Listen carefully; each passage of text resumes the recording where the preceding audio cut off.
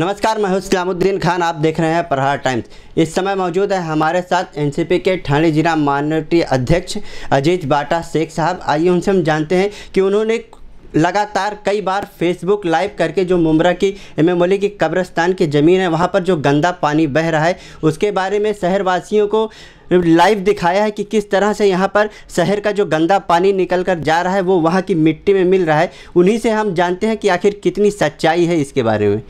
Sir, आप बताइए, जो वहाँ पर पानी जा रहा है तो उसके बारे में एनसीपी के ही जो नगर सेवक है, वो लोग कह रहे हैं कि यहाँ जो पानी है, वो साफ़ आ रहा है। कुछ लोग कह रहे हैं कि नहीं, ये खाड़ी का पानी है, लेकिन सच्चाई क्या है? मेरी नगर सेवक भाई बहनों ने जाकर वहाँ पर जो स्टेटमेंट दिया उससे मुझे कोई एतराज़ नहीं है, सबकी अपनी अपनी सोच होती है। उन लोगों ने वो पानी आने का ज़रिया देखा नहीं होगा, शायद शाम का वक्त हो चुका था, मगरिब की अजान हो रही थी, जब वो लोग वहाँ खड़े थे तो मुझे ऐसा पूरा यकीन है कि उन लोगों ने वो जो हालात मैंने दिखाए थे वीडियो में, उस पर ध्यान नहीं देते हुए ऐसा स्टेटमेंट दिया।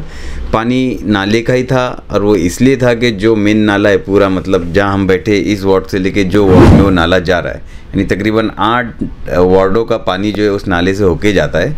उसको जो है वो रोड जो बन रहा है एम वैली का, वो कॉन्ट्रैक्टर ने जो है वहाँ से कलवड़ बनाने के लिए, यानी उसी नाले का ब्रिज बनाने के लिए फाइलिंग का काम कर रहा था तो उसने ये सोचा कि मैं बंद कर दूँगा, दो दिन, चार दिन में मेरा काम हो जाएगा तो चालू कर दूँगा, दो, चार दिन में जैसे कि बारिश नहीं है तो पानी की इतनी तकलीफ़ नहीं होगी। लेकिन जो कि उस पर लोड इतना है, लाखों की आबादी का ड्रेनेज का पानी वहाँ से जाता है तो वो नाला अपनी जगह रुक नहीं सका और ज़मीन से होते वो पानी जो है बिल्कुल उससे 30-40 फुट पर जो है कब्रस्तान की ज़मीन है, उसकी बाउंड्री वॉल एक तरफ़ से खुली हुई थी वहाँ से पानी रिसने लगा।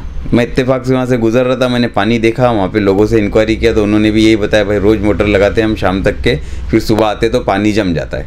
अगर ये कोई मतलब नेचुरल वाटर होता तो इतना पानी और इतने कम लेवल पे जमता नहीं। और प्लस खाड़ी इतनी दूर है वहाँ से कि खाड़ी का पानी भी वहाँ तक के रिस के आना इम्पॉसिबल है। बहरहाल, वो सब होने के बाद में जो है लेकिन सर जो जब आपने फेसबुक लाइव करके पूरे शहर को इसके बारे में सच्चाई दिखाई उसके बाद जिस तरह से फिर और नगर सेवकों की तरफ़ से फेसबुक लाइव किया गया उस हिसाब से आपका घेराव किया गया तो कहीं ना कहीं आप एनसीपी में होने के बावजूद भी आपने सच्चाई दिखाई तो आपने क्या ऐसा महसूस किया कि आज जो है एनसीपी के ही लोग आपका घेराव कर रहे हैं? इसीलिए तो मैंने फ़ौरन रात को 10 बजे उसी दिन रात को 10 बजे फिर लाइव जाकर लोगों को ये बताने की कोशिश की, मेरे नगर सेवक भाई बहनों को समझाने की कोशिश की कि जो मैं बोल रहा था वही सही था, क्योंकि मैं सबूत के साथ बोल रहा था। और मैंने फिर उनको ये बोला भी था कि अगर मैं गलत साबित होता हूँ तो मैं उनसे नहीं, पूरी आवाम से माफ़ी मांगूँगा, क्योंकि वो मुद्दा कब्रस्तान से जुड़ा हुआ है, हमारे दीन ईमान से जुड़ा हुआ है। लेकिन ऐसा कुछ मामला दूसरे दिन सामने नहीं आया, बल्कि मैंने जाकर जो है दूसरे दिन भी एक लाइव वीडियो लगा, चलाया और उसमें दिखाया कि वो नाला खोल देने के बाद में। दूसरे दिन जो है ना कॉन्ट्रैक्टर ने नाला खोल दिया, पानी सीधा जाने लगा तो उस खड्डे में जो है पानी का लेवल कम हो गया। तो इससे ये साबित हो गया कि मेरी बात सही थी। ठीक है, उसमें नेचुरल यानी खाड़ी का पानी आता होगा या नेचुरल ज़मीन का पानी आता होगा, लेकिन नाले का पानी आ रहा था, ये बात साबित हो गई। अब वो नाला खुला हुआ है, वो खड्डा भी खुला हुआ है। कोई भी जाकर देख सकता है कि नाला बहने की वजह से जो है उस खड्डे में पानी का स्तर कम हो गया। तो मेरी बात सही साबित हुई और मेरा जो काम था, मकसद था, वो पूरा हो गया। आज कॉन्ट्रैक्टर जो है, उसी कब्रस्तान का कॉन्ट्रैक्टर जो है, वो, जो मैंने मट्टी गंदी हो गई, जो बताया था, आज वो पूरी मट्टी निकाल कर खोद कर वो मट्टी को फेंक रहा था। तो ये भी बहुत अच्छा हुआ। आज भी मैं लाइव जाके वो वो वो भी दिखाया लोगों को। लेकिन जिस तरह से आरोप लग रहे हैं कि ये कब्रस्तान की ज़मीन है और आज जो आपने फेसबुक लाइव किया था वीडियो वहाँ पर देखा गया है कि साफ़ तौर पर वहाँ से नाली से गंदी मिट्टी निकाली जा रही है बाहर निकाली जा रही है और वो कब्रस्तान की ज़मीन है। तो कहीं ना कहीं वो गंदी मिट्टी उस मिट्टी में मिल रही है। तो किस हिसाब से वहाँ फिर फिर जो है मैयत दफन की जाएगी? हाँ तो नहीं आप मेरी बात नहीं समझे मैं वही समझा रहा था कि वो लोगों ने कबूल कर लिया कि वो पानी वो मट्टी गंदी हो गई है, इसीलिए वो मट्टी निकालने का काम अभी चल रहा है। और मैं मेरे ज़ेर नज़र ही जो है वो काम कर रहा हूँ। मैं रोज़ जाऊँगा वहाँ पे, रोज़ जाके वहाँ पे राउंड मारूँगा, देखूँगा कितनी मट्टी निकल रही है, कितनी नहीं निकल रही है। लेकिन जिस जज्बे के साथ में वो कॉन्ट्रैक्टर काम कर रहा है, जो कब्रस्तान का कॉन्ट्रैक्टर है, रोड वाला नहीं, कब्रस्तान का कॉन्ट्रैक्टर है, वो जिस जज्बे के साथ काम कर रहा है, ऐसा लग रहा है कि एक मुसलमान का दिल जाग गया है, उसको फ़िक्र हो गई है, इसलिए वो मट्टी निकाल रहा है। तो आज मैं मुतमिन था, लोगों को लाइव जाके दिखाया भी कि भाई जो ज़मीन, जो मट्टी गंदी हो गई थी, उसको निकाल कर फेंका जा रहा है। तो मेरा जो मकसद था, वो हल हो गया। वहाँ पर जो है, हमारे मैयत दफन होने की थी। किसी के भी घर के, आपकी, मेरी, किसी के भी घर की मैयत दफन होनी थी तो गंदी मिट्टी या गंदे पानी में नहीं रहे। यही मेरा मकसद था और वो कॉन्ट्रैक्टर लोगों के दिमाग में आ गया। और सबसे बड़ी बात यह है कि कमिश्नर साहब ने जो है, वहाँ पर ज़ोर दे के कॉन्ट्रैक्टर को ज़ोर देकर जो है ना, अपना रोल अदा किया। उन्होंने सख्ती बरती, अपने अधिकारियों को भेजा। दिन रात वहाँ काम चल रहा है। साथ में हमारे आमदार आवार साहब ने इसकी फ़िक्र की। कॉन्ट्रैक्टर लोग को बोला आप बोल रहे हैं, आमदार साहब ने इसकी फ़िक्र की। तो जब आपने दो तीन मरतबा फेसबुक लाइव किया, इसके बाद आमदार साहब ने आपसे बात की इस बारे में? बिल्कुल मेरी आमदार साहब से बात हुई, उन्होंने बहुत फ़िक्र जताया और उनको इस बात का अफसोस था कि एक छोटी सी कॉन्ट्रैक्टर की लापरवाही की वजह से इतना बड़ा कब्रस्तान का जो काम है, जो अब तक के मतलब 60 परसेंट हो चुका है, अभी खाली बाउंड्री वॉल और उसको, उस ज़मीन को बांटने का काम बचा है और मट्टी जो ऊपर की जो मट्टी है, वो लाने का काम बचा है, ऐसे हालात में वो जो एक कॉन्ट्रैक्टर की मामूली सी लापरवाही की वजह से थोड़ा सा मामला ख़राब हो गया।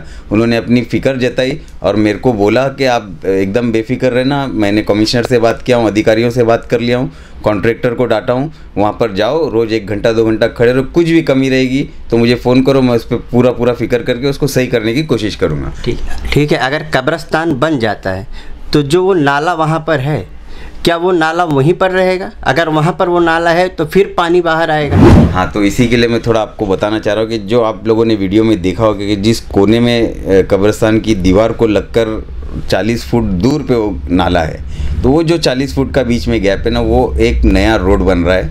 हमारे टीएमसी का प्लान रोड है, डी डीपी रोड है, जो पीछे अमीनाबाद को टच करेगा। तो जब वो रोड का काम चालू होगा तो नाला भी बनेगा। अभी नाला जो एक कच्चा है, उसको कोई मतलब बाँध नहीं है। तो वो कहीं से भी पानी जो है ना, किसी भी तरफ़ जा रहा है, उल्टे हाथ जा रहा है, सीधे हाथ जा रहा है, कहीं भी जा रहा है तो उसके लिए भी बजट सेंक्शन किए हमारे आवार साहब की मेहनत से जो है, वो नाले का बजट सेंक्शन हुआ हुआ है, ढाई करोड़ रुपए का, और बाजू के रोड का जो है, सात करोड़ रुपए का बजट सेंक्शन हुआ हुआ है।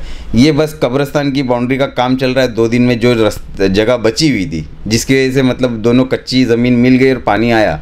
ये जब बाउंड्री हो जाएगी तो इंशाल्लाह हमें पूरी उम्मीद है कि पानी रिस्कर वहाँ नहीं आएगा। और यानी पहले बाउंड्री से अगर बाउंड्री से कंट्रोल नहीं होता है तो फिर रोड होगा। चालीस फुट का रोड होगा जिसको खोद के बनाया जाएगा। उसके बाद में फिर नाले का जो है ना लाइन होगी। सबसे पहले कब्रस्तान दी जाएगी। हम्म। उसके बाद रोड का काम चालू होगा। फिर कहीं जाकर नाला बनेगा। नहीं नहीं नहीं ऐसा नहीं है। फिर? ऐसा नहीं है। अब कब्रस्तान का काम जो चालू हुआ है उसके साथ साथ में रोड का काम चालू होगा ये बस दिवाली के बाद से। लेकिन कब्रस्तान तो पूरा होने वाला है ना काम नहीं नहीं नहीं नहीं अभी कब्रस्तान को बहुत काम बाकी है। कब्रस्तान को चार हिस्से में बांटना है। एक सुन्नी कब्रस्तान है हम्म। शिया कब्रस्तान है शमशान भूमि और क्रिश्चियन दफन भूमि है। तो ये चारों को हिस्से में बांटने के लिए अभी बहुत सा काम बाकी है। जितना आपने ज़मीन में मट्टी देखी उतनी ही मट्टी अभी और भरनी बाकी है। क्योंकि बारिश अभी गई है तो ऐसी मुरुम मट्टी जो है ना अवेलेबल नहीं हो रही है हर जगह से तो उसको मेरे हिसाब से, मेरा अंदाज़ा ऐसा है कि डेढ़ दो महीना लगेगा मट्टी, अच्छी मट्टी जो, यानी दफन भूमि के लिए या कब्रिस्तान के लिए इस्तेमाल होती है, वैसी मट्टी मिलने के लिए जो कम से कम दो महीना लगेगा।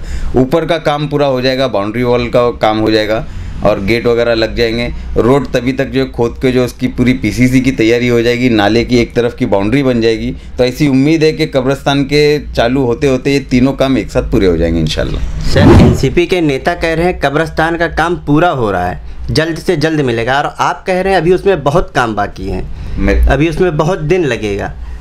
किस हिसाब से कितना देर बाकी उसमें कितना वक्त लगेगा? या एनसीपी के और नेता झूठ बोल रहे हैं कि कब्रस्तान मुमरा वालों को जल्द दिया जाएगा? और आप कह रहे हैं अभी उसको चार भागों में बांटा जाएगा। इसका मतलब अभी साल, दो साल और वक्त लगेगा। नहीं जी भाई, आप जो है मेरी बात का सही अंदाज़ा नहीं ले रहे मैंने बोला डेढ़ से दो महीने लगेंगे, वो मट्टी आने। और कोई क्या बोल रहा है मैं उनके ऊपर अगर डेढ़ से दो महीने लगेंगे मट्टी आने में तो उस मट्टी को कब्रस्तान में डालने के लिए भी तो वक्त लगेगा? बिल्कुल लगेगा। दो चार महीने लगेंगे? नहीं नहीं नहीं एक महीना और लगेगा। एक महीने लगेंगे? हाँ। उसको बांटने में भी वक्त जाएगा? बस वो एक ही महीने में सब हो जाएगा क्योंकि बटा हुआ हिस्से में मट्टी भरी जाएगी। यानी फिर भी चार से पाँच महीने लगेंगे? मेरा अंदाज़ा ऐसा है कि तीन महीने में काम हो जाना चाहिए इनशाला लेट फास्ट अगर कुछ हुआ तो एक आध महीना और ऊपर पड़ो लेकिन इससे ज़्यादा टाइम नहीं लगेगा और जो सुन्नी कब्रस्तान है, जो मतलब वक्त की ज़रूरत है, उसके ऊपर पहले ध्यान जा रहा है, ध्यान दिया जा रहा है, उसी पट्टे को जो पहले काम किया जा रहा है तो ऐसा उम्मीद है कि वो तो पहले तैयार हो जाएगा इन और जो लोग बोल रहे कि अब जल्दी मिल जाएगा या ऐसा है या वैसा है तो उनके जल्दी मिल जाने का, बोलने का भी मकसद यही है कि दो से तीन महीना लगेगा। लेकिन जल्दी बोलने का मकसद सर एक साल डेढ़ साल से लोग सुन रहे जल्दी मिलेगा जल्दी मिलेगा लेकिन कब मिलेगा ये किसी को नहीं पता है। मैं आपको बता रहा हूँ कि जितना मैं अभी रोज़ काम देखता हूँ इसके पहले भी मैंने ही फॉलोअप किया था मैं देख रहा था तो जितना मैं काम देखता हूँ उस हिसाब से मुझे पूरा अंदाज़ा है कि कम से कम एक कब्रिस्तान जो है तीन महीने तक के बन के इंशाल्लाह हमारे हाथ में उसकी चाबी आ जाएगी।